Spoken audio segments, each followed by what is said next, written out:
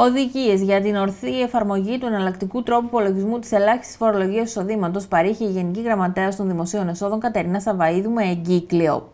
Το τεκμαρτό εισόδημα υπολογίζεται με βάση τις αντικειμενικές δαπάνες διαβίωσης και τις δαπάνες απόκτησης περιουσιακών στοιχείων του φορολογουμένου και των εξαρτώμενων μελών του.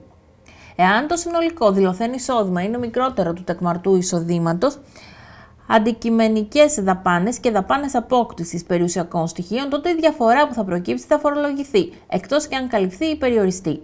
Στα τεκμήρια δεν υπάρχουν αλλαγές σε σχέση με όσα ίσχυσαν πέρυσι, με εξαίρεση τροποποίηση αναφορικά με το ποσό τεκμαρτής δαπάνης που λαμβάνεται υπόψη κατά την αγορά ακινήτων, καθώς πλέον υπολογίζεται το πραγματικό τίμημα το οποίο αναγράφεται στο συμβόλαιο και όχι η αντικειμενική αξία. Συγκεκριμένα, για τον υπολογισμό του τεκμαρτού εισοδήματος λαμβάνονται υπόψη οι ακόλουθες αντικειμενικές δαπάνες, ιδιοκατοικούμενες ή μισθωμένες δωρεάν παραχωρηθήσεις κύριες κατοικίες.